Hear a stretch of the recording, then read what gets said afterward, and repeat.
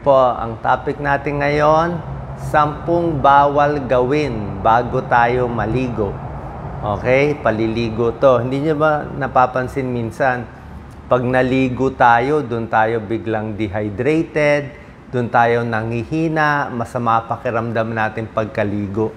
Merong mga sampung bagay dapat nating ingatan o iwasan bago tayo maligo. Umpisahan natin ha. Number one, eating a heavy meal. Huwag mo na kumain ng marami tapos maliligo ka. Kasi pag kumain kang ng napakarami, let's say ilang plato kinain mo, tapos maliligo ka agad, medyo masisira po yung digestion natin. Kasi pag bagong kain, yung dugo pupunta sa tiyan, sa stomach, sa intestine, tapos maliligo ka, di ba? Baka mainit pa pinaligo mo, gagalaw-galaw ka, hindi gaganda yung digestion, mahirapan. Baka maimpatcho tayo. So, pagkakain ng marami, hintay muna siguro ng mga 30 minutes, 1 hour bago maliligo. Number two, sobrang exercise. Yung pagod na pagod, strenuous physical activity, o nag-gym ka tapos maliligo agad. Alam ko ginagawa to ng, ng mga kabataan. Siguro kung bata ka pa, kaya mo to. Kung atleta ka, athlete, kaya mo. Pero kung senior, medyo may edad ka, di ba? Tapos uh, pagod na pagod, 'di ba? Eh dito sa Pilipino, takot pa tayo sa pasma, 'di ba? Uh, pwede maghintay ng 30 minutes to 1 hour. Okay? 30 minutes to 1 hour. Pahinga muna, tanggalin mo na yung medyas, relax muna. Kasi pag sobra ding exercise, mainit yung katawan natin eh. Masyado mainit. Tapos maliligo ka pa mainit, baka ma-dehydrate ka pa. Walang masama i-cool down muna yung katawan natin. Cool down ka muna bago maliligo. Ito naman, suggestion lang. Kung gusto nyo, pwede rin naman. Kaya lang, mas maganda sa katawan pag susundin natin. Number three, ito, minsan guilty ako dito, number three, gumagamit ng mga electronic device bago maligo. Uh, ano tong electronic device? Uh, nagse-cellphone, nagta-tablet, nagla-laptop, o, dati tayo, CD, radyo, delikado. Ay, di ba, yung iba naka-bathtub pa, naliligo, nakasaksak yung cellphone mo sa kuryente, baka makuryente ka. Ha? Baka mahulog sa liguan mo, biglang makuryente, delikado, may namamatay dyan. So, walang mga charger at ibang bagay na mababasa. Number four, lasing na lasing. Oh, uminom ng maraming alak na lasing tapos maliligo, awag na lang.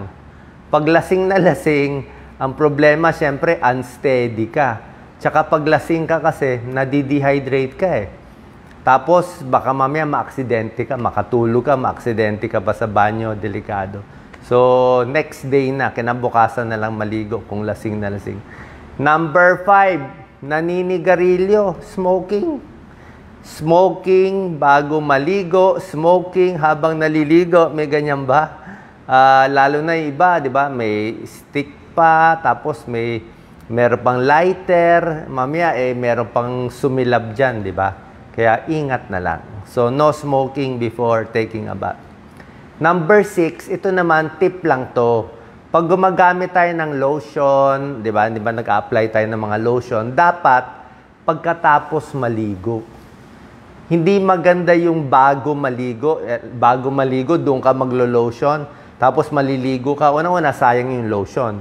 Pangalawa, hindi ka makakalinis maigi eh. Kasi nga, istorbo yung lotion, naka-lotion ka, tapos magsasabon ka. Pinakamaganda mag-lotion, maligo ka muna, nagtuyo ka muna, pag dry na yung skin mo, open na yung pores, doon mo papahid yung lotion pagkaligo. Hindi yung before. Number seven, ito naman mga pag-iingat lang. Number seven, yung nag-aahit o nagwa-wax, di ba? Minsan nagwa-wax sa paa o nag-aahit. Kasi minsan, like ako, ba nag-aahit ako, minsan may na, nasusugat ako eh. Di ba? Minsan masusugat ka dito o nagwa-wax, nasusugat ka. So, pag may sugat, tapos open pa yung pores, tapos maliligo ka, baka mag-infection, baka mag-skin irritation. So, ingat din doon. Number eight, dapat uminom ng maraming tubig muna. Okay? Bakit? mga overexposed sa araw. 'Di ba? Let's say init na init ka galing sa labas, so 'di ba? Init-init. Tapos pag-uwi mo biglang maliligo ka, 'di ba? Pwede ka ma-dehydrate eh. Mapapansin mo 'yan minsan. Ako minsan ganoon eh. Pagligo mo, tapos umihi ka ba naliligo, mapapansin mo, bakit ang dilaw ng masyado ng ihi ko? Kasi nakaka-dehydrate naliligo ka, pinapawisan ka, 'di ba? Mainit pa yung tubig, hot water pa, sarado pa yung bintana, 'di ba? Kaya tapos nadi-dehydrate ka. So ayaw mo 'yon. So dapat inom mo na ng tubig, hydrated ka. Number nine, ito lang naman, do not neglect safety tips, 'di ba? Lalo na sa mga senior, bago maligo, siguraduhin yung bath yung bathroom, yung floor tuyo, okay? muntik-muntik madulas. Alam mo, kahit ako eh, minsan, mas maganda talaga may rubber mat eh. Di ba? Bumili na lang kayo ng rubber mat o kahit papano, kasi kahit nakatayo kayo minsan, very unsteady. At isa pa palang tip, pwede kayo, lalo na sa mga may edad, pwede kayo maglagay ng silya. Isang plastic na silya, habang, na, habang naglilinis ng paa, o paano ka maglilinis ng paa, nakatayo, sobrang hirap yon pag senior ka na. So maganda may silya bago ka magkuskus ng paa, ng binti. Tapos habang naliligo, pwede rin. Kasi ang problema nga, pag naliligo ka, pag senior na, wala nang ganong balance eh. Di ba? Madulas pa, yung mata mo may, ano, may sabon. Di ba? Hindi mo nakikita. Tapos nakatayo ka, pwede ka matumba. Okay? So, do not neglect safety tips. And number 10, huwag magmamadali. Okay? Do not rush. I-ready mo maigi yung gamit mo.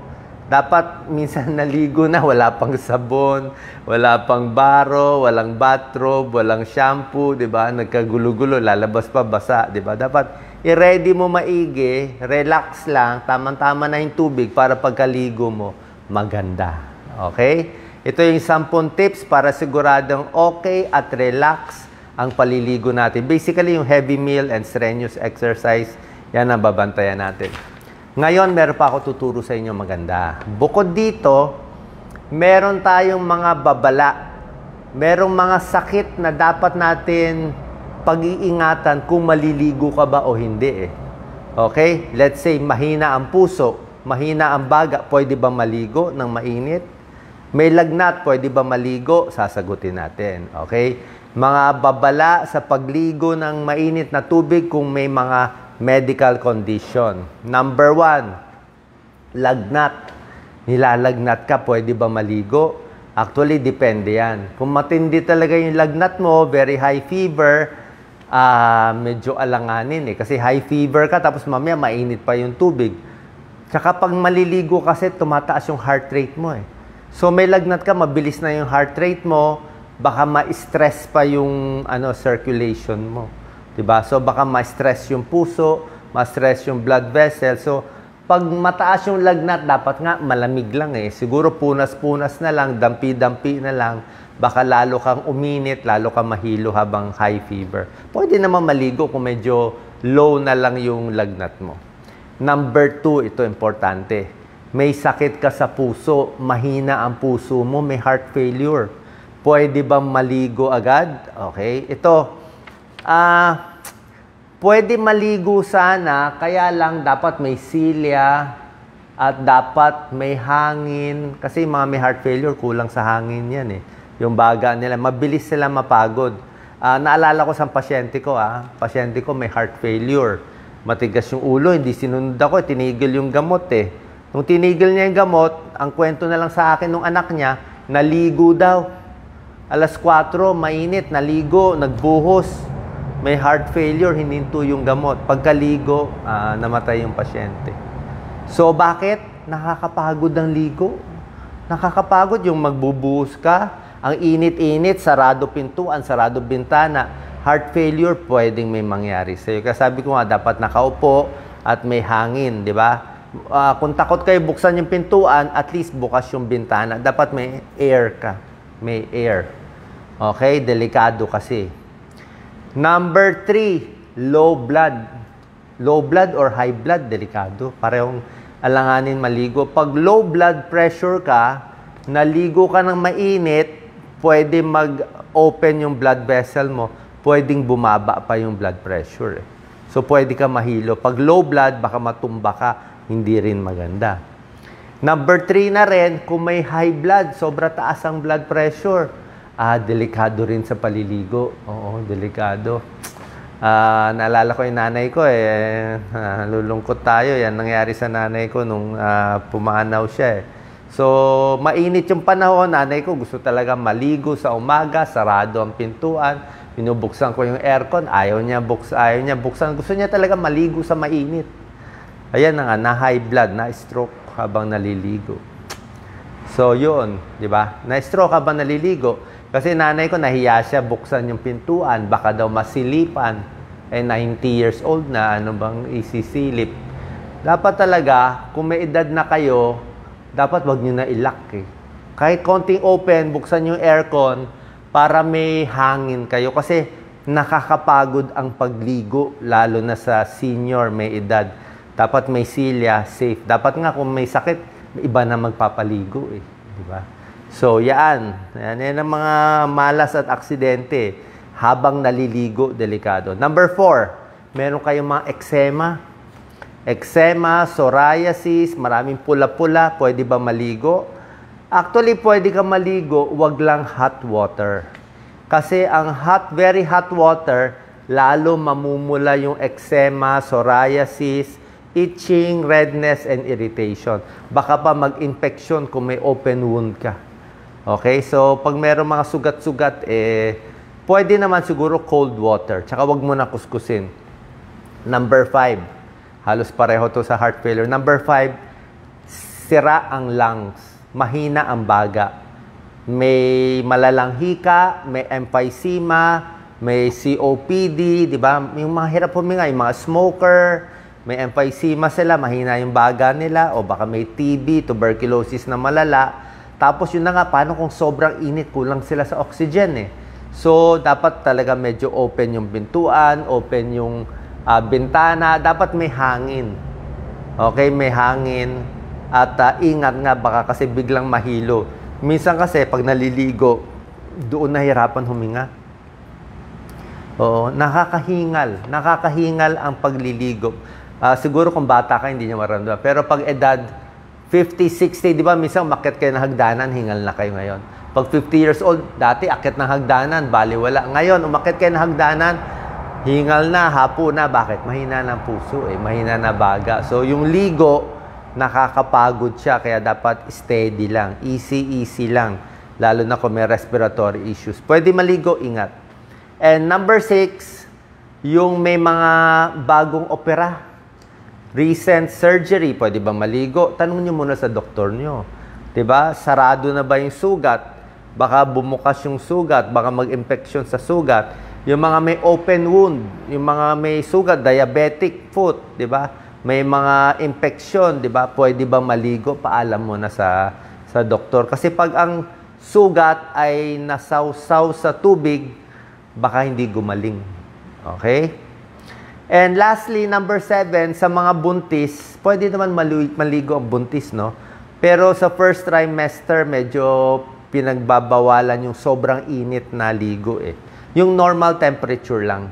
Kasi minsan pag sobrang init, baka magloko yung circulation, masama sa baby. Okay? Basta yung normal paliligo at mag-iingat din pag buntis. Okay? Sana pa nakatulong tong video. Konting pag-iingat. Ako, lagi ako may silya, tapos ilang beses ako sa CR, alam mo yan, hindi mo mapapansin. Minsan, hindi, yung tayo nyo, baka maano eh, baka ma-slip. Naglagay na kami ng mga handle, paggawa kayo yung mga hawakan sa CR, maglagay kayo ng rubber mat, tapos i-ready nyo lahat ng gamit para iwas aksidente. Kasi number one cause ng aksidente ay yung paliligo at doon na aksidente. Yung iba nababagok yung ulo sa CR. Ang dami, dami ko na nakita niyan. Sobra na dami. Kaya ingat po. Sana po mag-ingat tayo para hindi tayo ma-accident. God bless po. Thank